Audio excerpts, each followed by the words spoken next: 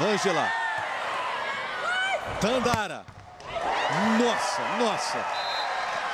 A, a, a Tandara atravessou a quadra, foi abraçar a Leia. a foi Leia- uma pancada impressionante. É uma figura. Se a Leia virou brincando, não aceito não. São muito amigas, seleção brasileira. Olha que torpedo soltou a Tandara pra cima da Leia. A Tandara fez questão de ir lá socorrer a Leia. Aqui, Rogério, que a Leia levou uma bolada hoje da Tandara, as duas juntas aqui. Uma coisa, eu vou ficar famosa só por causa dessa bolada. Mas a Tandara, a Tandara, Leia, fez 39 pontos hoje, recorde da Superliga junto com a e O que falar? ainda ali E carimbou. O que falar da situação da Tandara hoje e do Minas também?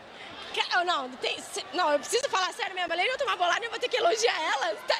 Faz parte, faz parte. Quando eu treinava com ela lá na seleção, ela era forte, mas agora, ô, sério, tá assim, ó, tá mais forte. Foi, é o filho, será? Será que Não sei, pode ter sido. Maria Clara fez bem. Fez bem. Cara, não, Certíssimo. não, eu fiquei firminha, mas o olho tava assim, ó, tum, tum, tum. Não, aí eu dei a bolada nela, eu fui até lá pedir desculpa e levei um pedal ainda. Eu dei um pedal. Certíssimo, Não, meninas. mas foi eu tava ali meio zonza ali na hora, né? Vamos lá, parabéns pela partida. A gente tem que entregar agora, tem mais preocupação no Sport TV. Parabéns pela partida das duas, parabéns pela vitória do Minas e parabéns, Tandara, pela essa quantidade de pontos.